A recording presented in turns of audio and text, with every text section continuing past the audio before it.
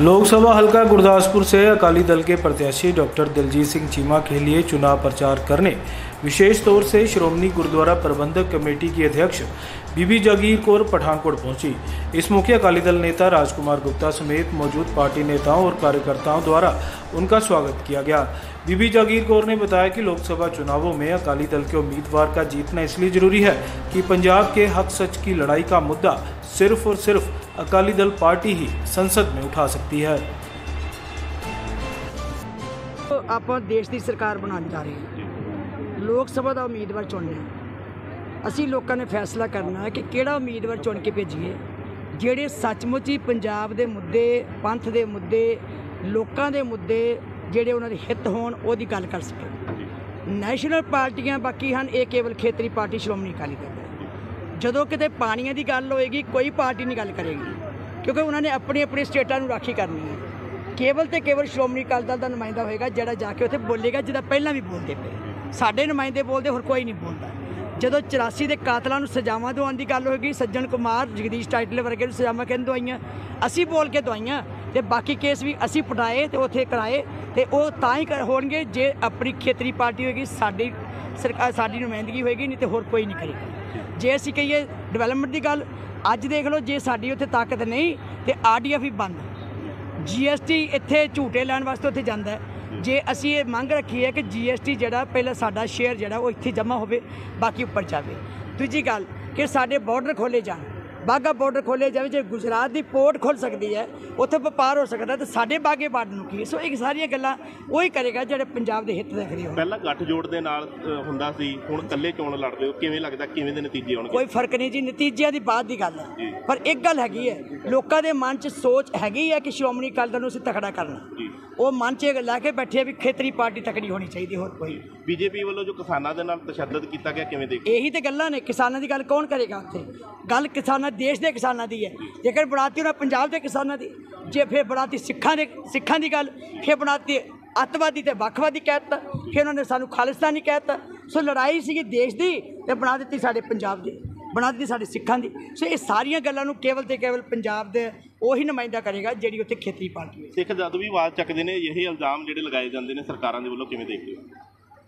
ਦੇਖੋ ਜੀ ਦੁਖੀ ਇਸ ਗੱਲ ਦਾ ਕਿ ਸਾਡੀ ਤਾਕਤ ਘਟੀ ਹੈ। ਜੀ। ਦੁਖੀ ਇਸ ਗੱਲ ਦਾ ਕਿ ਅਸੀਂ ਪਾਟ ਗਏ। ਜੀ। ਦੁਖੀ ਇਸ ਗੱਲ ਦਾ ਗੰਭੀਰ ਚਿੰਤਾ ਇਸ ਗੱਲ ਦੀ ਹੈ ਕਿ ਅਸੀਂ ਇਕੱਠੇ ਨਹੀਂ ਜੇ। ਅਸੀਂ ਇਕੱਠੇ ਹੋ ਜਾਈਏ ਸਿੱਖ ਇਕੱਠੇ ਸੀ ਤੇ ਡਰਦੇ ਹੁੰਦੇ ਸੀ ਫਿਰ ਅਕਾਲ ਤਖਤ ਦੇ ਜਥੇਦਾਰ ਦੀ ਇੱਕ ਆਵਾਜ਼ ਨਿਕਲਦੀ ਸੀ ਦੁਨੀਆ ਕੰਬਦੀ ਸੀ। ਸ਼੍ਰੋਮਣੀ ਕਮੇਟੀ ਦੇ ਪ੍ਰਧਾਨ ਦੀ ਇੱਕ ਗੱਲ ਨਿਕਲਦੀ ਸੀ ਤੇ ਦੁਨੀਆ ਕੰਬਦੀ ਸੀ।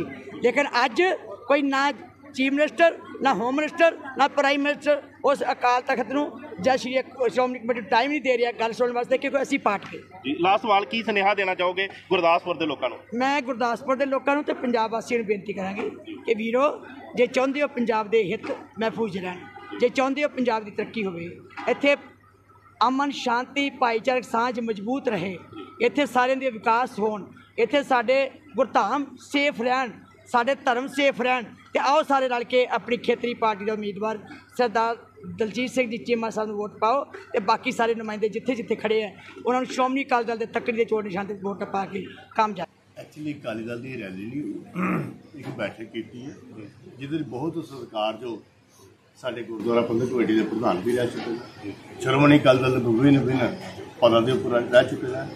ਔਰ ਪੰਜਾਬ ਸਰਕਾਰ ਜਦੋਂ ਸ਼੍ਰੋਮਣੀ ਅਕਾਲੀ ਦਲ ਦੀ, ਉਦੋਂ ਵਿੱਚ ਸਾਬਕਾ ਮੰਤਰੀ ਵੀ ਕੈਬਨਿਟ ਮੰਤਰੀ ਵੀ ਨੇ ਇਹਨਾਂ ਦਾ ਬਹੁਤ ਜ਼ਿਆਦਾ ਪਿਆਰ ਹਰ ਇਲਾਕੇ 'ਚ ਹੈ, ਚਾਹੇ ਪਠਾਨਕੋਟ ਜ਼ਿਲ੍ਹਾ, ਚਾਹੇ ਗੁਰਦਾਸਪੁਰ ਜ਼ਿਲ੍ਹਾ, ਚਾਹੇ ਉਹਨਾਂ ਦਾ ਆਪਣਾ ਜ਼ਿਲ੍ਹਾ, ਕਿਉਂਕਿ ਕਿ ਡੇਰੇ ਦੀ ਸੇਵਾ ਵੀ ਕਰਦੇ ਨੇ। ਇਸ ਕਰਕੇ ਸਾਡੇ ਸਿਆਮਪੁਰ ਦੀ ਸੰਗਤ ਦੀ ਆਵਾਜ਼ ਹੈ ਕਿ ਬੀਬੀ ਜੀ ਨੇ ਫਿਰ ਬੀਬੀ ਜੀ ਆਏ ਨਾ, ਆਪਣੇ ਉਹਨਾਂ ਡਾਕਟਰ ਦਲਜੀਤ ਸਿੰਘ ਚੀਮਾ ਦੇ ਹੱਕ ਦੇ ਵਿੱਚ ਚੋਣ ਪ੍ਰਚਾਰ ਕੀਤਾ ਔਰ ਤਕੜੀ ਨਿਸ਼ਾਨ ਦੇ ਉੱਪਰ ਵੋਟਾਂ ਪਾਉਣ ਵਾਸਤੇ ਉਹਨਾਂ ਅਪੀਲ ਕੀਤੀ ਬਈ ਪਹਿਲੀ ਵਾਰ ਤੱਕੜੀ ਚੋਣ ਨਿਸ਼ਾਨ ਮਿਲਿਆ। ਬੀਜੇਪੀ ਨਾਲ ਅੱਗੇ ਗੱਠਜੋੜ ਹੁੰਦਾ ਸੀ। ਕੀ ਲੱਗਦਾ ਕਿ ਕਿਵੇਂ ਦੇ ਨਤੀਜੇ ਆ ਤੱਕੜੀ ਨਿਸ਼ਾਨ ਜਿਹੜਾ ਜ਼ਿਲ੍ਹਾ ਪਠਾਨਕੋਟ ਦੇ ਵਿੱਚ ਜ਼ਿਲ੍ਹਾ ਗੁਰਦਾ- ਗੁਰਦਾਸਪੁਰ ਲੋਕ ਸਭਾ ਉਮੀਦਵਾਰੀ ਦੇ ਉੱਪਰ ਅੱਜ ਤੋਂ 28 ਸਾਲ ਬਾਅਦ ਦੁਬਾਰਾ ਤੱਕੜੀ ਚੋਣ ਦੇ ਉੱਪਰ ਲੜ ਰਿਹਾ ਤੱਕੜੀ ਦਾ ਬਹੁਤ ਜ਼ਿਆਦਾ ਲੋਕਾਂ ਨੂੰ ਪਿਆਰ ਮਿਲ ਰਿਹਾ।